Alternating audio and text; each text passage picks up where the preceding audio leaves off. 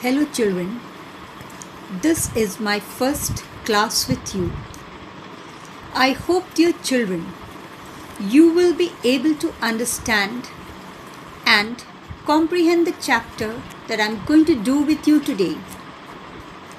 It gives me great pleasure to be with you all. Today, we are going to begin with chapter number 6 from your little prose book. You all have a little book in which we have poems and stories. You will take chapter 6 and we will do an angel in disguise. Now, you all must be wondering what is the title or what does it mean? We all know that angels are said to be good celestial bodies or holy figures that bring happiness and joy in our lives. Take, for example, we are all going through a crisis period today. People are holed up in their homes. There are people without any food, without shelter, and there are many people reaching out to them. These people who reach out to others in need is an angel in disguise. Similarly, our chapter also deals with something like this, where someone can bring a certain joy or happiness in our life. Now, this chapter deals with three major characters. Those characters are Maggie, an invalid little child, Mr. and Mrs. Thompson, and the minor characters are Maggie's brother and sister, Kate and John, Farmer Jones, Mrs. Ellis, and Maggie's mother. Now, this story, children, is about this little girl who was born in a poor family. Her mother was said to be an immoral woman who was addicted to certain vices like alcohol. The story starts with one day the mother enters the house in a drunken state and falls down dead in front of her three children. Now, this particular family had been treated as an outcast in that small village where everybody knew everyone else. But it is said that the moment sorrow or pain reaches anyone, everybody gets together. And that's exactly what happened. As soon as the news of Maggie's mother's death reached the villagers, they all came flocking to that little broken tumble down hut where Kate, John, and little Maggie were with their dead mother lying on the ground. Instantly, the neighbors reached out, bringing food, clothes for the children, and even the dead woman. Now, the big question arose what was to be done with these little children who were now left as orphans? After much pondering and thought, Farmer Jones, who was a bit of a selfish man, said, Oh, don't worry, I will take John with me because I need someone to help me in the farm. Mrs. Ellis was no less. She had been looking for a little girl to work for her and very politely said, Since no one wants to take Kate, may as well let me take her. I will give her a home. And so it was decided even before the mother was buried that John and Kate would find a home. But alas, what about Maggie? Poor Maggie was left. There were pitying glances, there was sympathy on a thin and miserable face. But no one thought of taking Maggie home. The reason is she was a bedridden child. When she was a little girl, she fell from a window and hurt her back. And since then, for the past two to three years, she was laid up in bed, except when her mother carried her. So, when the question of this little girl came up, a rough looking man standing there suggested, Why, of course, who wants to take this little girl? Send her to a poorhouse. Now, a poorhouse is said to be an orphanage. Now, when this decision came up, someone said, Why should we send the little child to a poorhouse? Immediately another said, Don't worry, over there she will be looked after. She'll be kept clean, given healthy food, doctored, what is more. And so it was decided that Maggie would go to the orphanage. And as usual, the next day the funeral took place. Everybody walked away after everything was over, leaving only Maggie alone in the house. A blacksmith's wife and this rough looking man who was Mr. Thompson was left behind. Now, Joe Thompson had other ideas. He casually told the blacksmith's wife, Why don't you take the little girl home? Immediately she answered, Why don't you take her to the poorhouse? And so, now it was left to Mr. Thompson to decide what to do with little Maggie. After much thought, when everyone had turned their backs on the little child, it was even growing dark, no one to see to her.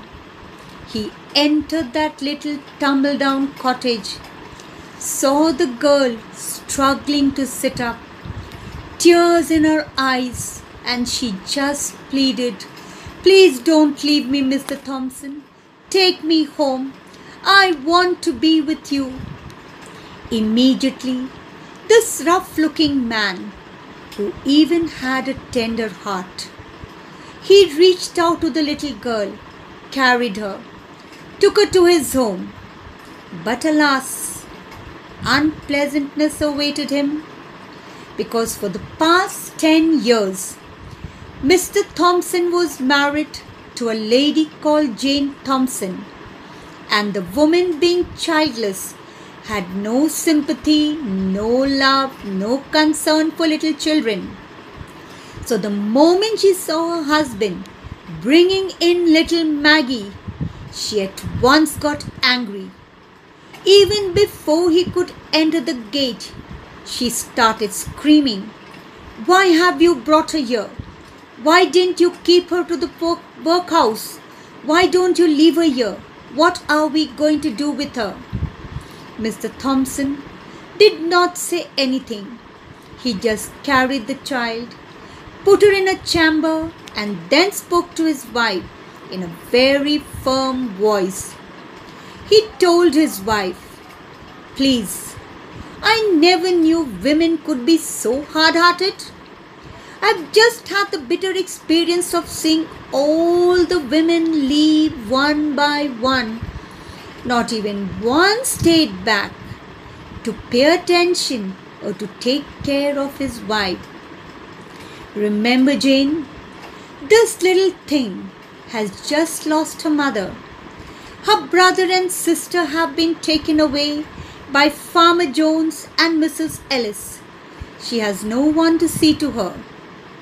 Why can't we be kind to her at least for one day? Let her feel the comfort, the warmth, the love of her house. Because after all, when she goes to the orphanage, she'll not have anyone or anybody near her. Mr. Thompson spoke in such a stern yet emotional voice that even before he could say anything, there was a little feeling in Mrs. Thompson's heart. Immediately, she entered the little chamber where the girl was. Mr. Thompson thought, it is better to leave his wife and the little child. And so he went on to carry on his work because, as a wheelwright, his duty was to mend the wheels and the vehicles. Late in the evening, when he returned from his work, he saw a light burning in the chamber window where he had left little Maggie. He peeped in, and the sight that greeted him was one of the most beautiful one. The light was shining on Maggie's face. There was a feeling in her heart, but not of fear, not of pain, rather something that said that the child was comfortable. Mr. Thompson did not say anything. He entered the house, and that day, as he and his wife sat down at the dinner table, he waited for his wife to say something because just early that day they had decided the girl would go to the orphanage, Mr. Thompson would go and meet the guardian and hand her over to the poorhouse. Both of them sat looking at each other. Not a word was spoken. Ultimately, Mrs. Thompson was the first one to speak. What are we going to do with little Maggie? Of course, Mr. Thompson says, you already know. I have to go to the workhouse tomorrow. That night, Mrs. Thompson went to Maggie's room, gave her bread, milk, and butter, and there was a certain feeling in her heart. This lady, who had always been hard hearted, was trying to reach out to this little girl. Next morning at breakfast table, when Mr. Thompson casually said, I am going to the workhouse, Mrs. Thompson said, Why? Why do we have to send her now? The child is very weak. Why don't we let her be for a day or two longer? Because that look of gratitude, that look of love in Maggie's heart had softened the hard hearted, stern Mrs. Thompson. And thus, the author says, this ended here. No more was there any mention of Maggie going to the workhouse. The author concludes with a very beautiful line saying that the dark, dreary house of the Thompsons, which had lacked love, was finally radiating with light, and Mrs. Thompson, who was always irritable, ill tempered, self opinionated, a desolate woman, was now completely transformed. The tender, sick child looking at her with love and gratitude, had touched the core of her heart. And since then, Maggie was a precious burden to her. Both Joe Thompson and his wife were the happiest couple that lived in the village. So, the story tells us, children, how little Maggie was the angel in disguise who brought happiness, joy, and brightness into the dark, dreary house of the Thompson. We even learn that at times people who are judged to be as stern, harsh, hard hearted are often such because of circumstances for example, Mrs. Thompson, if she was insensitive towards children, if she had nothing to do with little ones, It is probably because she had no one to care for, no one to look up to. Now you will read this chapter and you will do it part by part. The first page tells us about the tragedy that had struck Maggie's family. The second page tells us about the decision that was reached of taking away Kate and John with no information or no decision regarding Maggie. And the last part of the chapter deals where Mr. Thompson comes into Maggie's life, and from there, not only Maggie, but even Mr. Thompson is an angel in disguise for little Maggie. Had it not been for the hard hearted man, perhaps Maggie too would never have found a home. Now, based on this story, children, I have given you a little project work. I'll get back to you in the next class, guiding you how to do it. I hope, dear children, you have understood the chapter, and in case you have any doubt, you can always ping me on WhatsApp. Have a nice day. Love you all. Take care. Be safe.